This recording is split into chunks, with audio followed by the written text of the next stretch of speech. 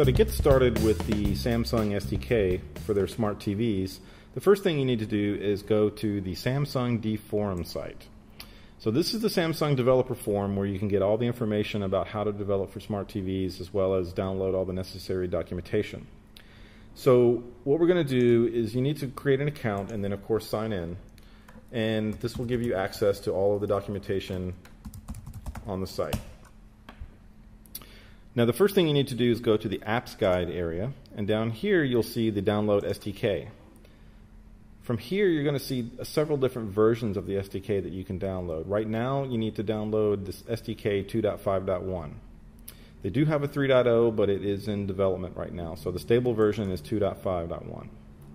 And from here you'll see some messaging and then of course at the bottom of the screen you can download um, the actual setup file.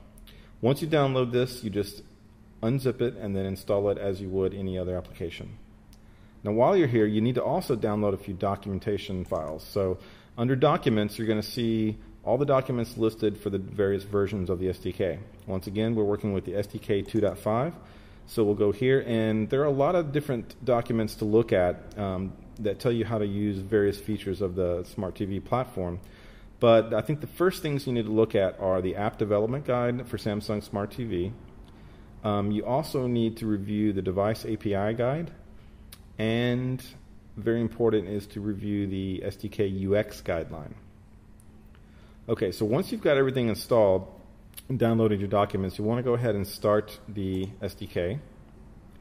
And this is going to be a development environment that we will use to create an application and to test in the emulator as well as to package your files to get them on the TV, which we'll explain in, in the next video.